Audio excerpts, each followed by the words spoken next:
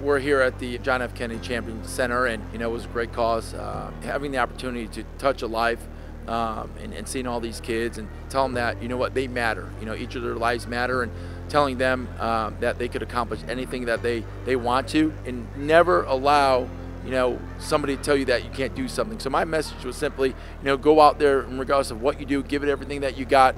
Um, and then never let anyone tell you that you can't accomplish any of those goals. We decided to do something, you know, for all the children, you know, just being there for them and, you know, try to give them a little motivation today, you know.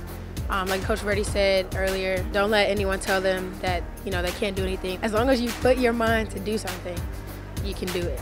And you know that's a, a really positive message that you, we just want to send out to the kids today. Having them here supporting us, just getting them here to see our program, seeing our players, you know, work extremely hard, and then obviously getting the opportunity to work with them and showing exactly who we are, not only as people but as coaches, as players. And it's a great day. Our players did a great job working with them and teaching them and, and putting a smile on their faces. For us to be able to come together and do this for all the children today, you know, it made everything better. Um, at the defensive drill stations, talked a lot about staying low, keep your hands out on defense, you know, talking, closeouts, you know, the little things. Our players uh, did a great job of, you know, uh, of assisting and, and teaching um, some basic fundamentals uh, of the game. You know, we saw a lot of passing, we saw a lot of dribbling, some shooting going on, and some games going on as well. But uh, you know, just just teaching some basic fundamentals of the game. it was a really good feeling. I didn't expect it, so it caught me off guard.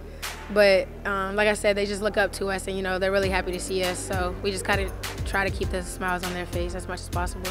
It was really great to see all of the local teams come out, especially, you know, the young ones.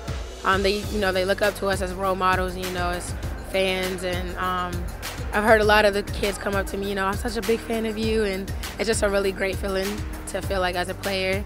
And, you know, I just remember myself being that age and, you know, looking up to people and, and it's just you know something that just makes you reminisce. It's like wow, like you know I'm doing something really good for these kids, and just want to keep it going.